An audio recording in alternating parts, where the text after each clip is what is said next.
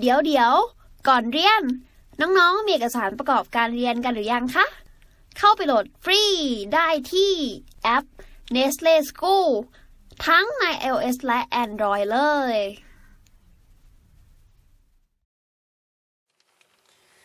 โอเค ข้อ 243 นะครับ น้องก็ข้อนี้อ่านโจทย์ก่อนเลยพี่ว่า โจทย์แนววนซ้ำๆอีกแล้ว เรื่องดูดคายแถมข้อนี้มีแปลกด้วย พี่ว่าข้อสอบเก่า พี่ไม่เจอการตอบคำตอบแบบนี้มานานมากแล้ว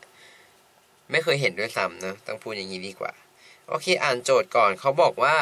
243 เนี่ยบอกว่าปฏิกิริยาการเตรียมแอลคายเนี่ย จากแกรไฟต์เกิดโดยผ่าน 2 ขั้นตอนต่อไปนี้ คือขั้นที่ 1 คือแกรไฟต์กลายเป็นแกรไฟต์ กรไฟต์เนี่ยคือปกติเป็นของแข็งเนอะกลายเป็นคาร์บอนแก๊ส ความร้อนของการกลายเป็นไอเนี่ยมี 717 กิโลจูลต่อโมลเนอะขั้นที่2เนี่ยจากคาร์บอนแก๊สเจอกับไฮโดรแก๊สไฮโดรเจนเนี่ยกลายเป็นแอลไคน์ที่แก๊สเนอะเขาบอกว่าปฏิกิริยานี้เป็นปฏิกิริยาดูด หรือคายความร้อนและพลังงานของปฏิกิริยามีค่ากี่กิโลจูลต่อโมล เออ แล้วก็กำหนดให้ตืดๆเท่านี้มา แล้วก็บอกว่าให้ระบุชนิดของปฏิกิริยาดูดหรือคายความร้อนที่หลักแรกของคำตอบด้วยด้วยเลขดังนี้ก็คือหนึ่งหรือเก้าพี่คิดว่ามันน่าจะเป็นประมาณว่าแบบ น่าจะเป็นเป็นน้อยเคยเจอที่แบบเป็นอัตนัยแหละแต่น้องต้องฝนกันนะคำตอบปะก็คือน่าจะต้องแบบเขียนเลขหนึ่งหรือเก้าแล้วก็แบบฝนตามข้างล่างอะที่เป็นเลขจุดๆๆขึ้นมาแล้วก็ฝนเอาอย่างเงี้ย เออ ก็พี่ว่าน่าจะเป็นอย่างนี้ แต่ว่าพี่ว่าจริง ๆ หน้าเนี้ยไม่สำคัญ เพราะเดี๋ยวเราก็ต้องตอบว่ามันดูดหรือคายเท่าไหร่อยู่แล้วเพราะคำเขามีคำถามอันแรกมาเนอะเพราะฉะนั้นแผ่นนี้พี่จะเอาออกไป เพราะว่าเราไม่มีตัวกระดาษคำตอบเนอะโอเค กลับมาที่เรื่องของเราคือเขาถามเนี่ยว่าจะดูดหรือคายเนอะกี่กิโลจูลต่อมูล เพราะฉะนั้นเนี่ย น้องก็ไปคำนวณมามาดูกันว่ามันจะต้องใช้พลังงานเท่าไหร่ อย่างขั้นที่หนึ่งอะน้อง ขั้นที่หนึ่งเราไม่ต้องคำนวณอะไรเลย ขั้นที่หนึ่งคือเขาบอกว่าจากแก๊สไฟกที่เป็นของแข็งกลายเป็นแก๊สถูกปะความร้อนของการกลายเป็นไอเนี่ย คือ 717 กิโลจูลต่อโมล คือแต่น้องอะอย่าโดนหลอกอย่างนี้ คือโอเค 717 กิโลจูลต่อโมลถูกปะแต่เรามีทั้งหมดกี่โมลเอ่ย 2 โมล เราอยากได้ทั้งหมด 2 โมล เพราะเราอยากได้คาร์บอนแก๊สเนี่ย2โมลถูกปะเพราะฉะนั้น 717 ของน้องอะ่ะต้องคูณด้วย 2 ด้วย เพราะฉะนั้นเนี่ยมันจะเป็น 1,434 นะครับกิโลจูลซึ่งเป็นดูดหรือคายเอ่ย น้องรู้ว่าจากของแข็งกลายเป็นแก๊สเนี่ยมันคือการสลายเนอะเพราะฉะนั้นสร้างคายสลายก็จะกลายเป็นดูดนั่นเอง อันนี้จะเป็นดูดเนอะส่วนขั้นที่2เนี่ยน้องต้องมาคำนวณแล้ว คำนวณยังไง ที่แน่ๆตรงคาร์บอนแก๊สตัวนี้เราไม่ต้องคำนวณ เพราะเราไม่ต้องสลายพันธะอะไรเนอะมีสลายพันธะไฮโดรเจน1พันธะ แล้วก็มีสร้างพันธะ C กับ H อย่างนี้2พันธะ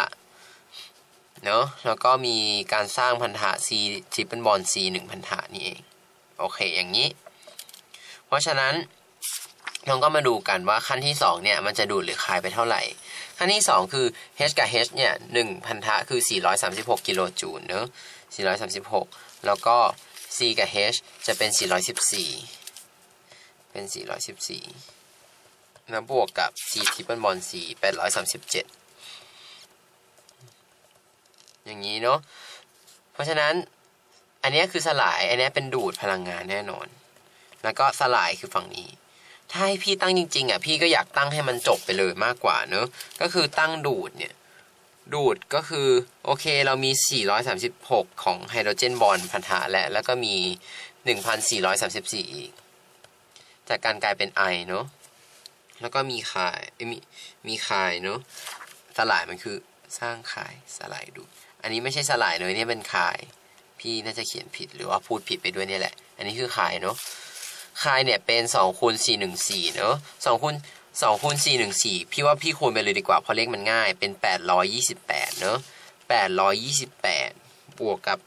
837ถามว่าทำไมพี่ถึงคำนวณข้ออย่างนี้ไปเลย เพราะว่ามันเป็นอัตนัยไงน้อง เราต้องทำเลขเป๊ะๆออกมาอยู่ดี เราไม่สามารถที่จะหลีกเลี่ยงได้เนอะโอเค เพราะฉะนั้นน้องก็บวกเลขปกติไป 436 บวกกับ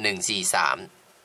4เนี่ยได้เป็น0ทด1 3บวก3เป็น 6 กลายเป็น 7บวกพอทดไป1เนอะ4บวก4เป็น 8 แล้วก็ 1870 อันล่างเนี่ย8บวก7ได้ 5 5ทด1 2บวก3ได้ 5 5ทด1มาเป็น 6 8บวก8กลายเป็น 16 เนอะกลายเป็น 1,870 ลบออกด้วย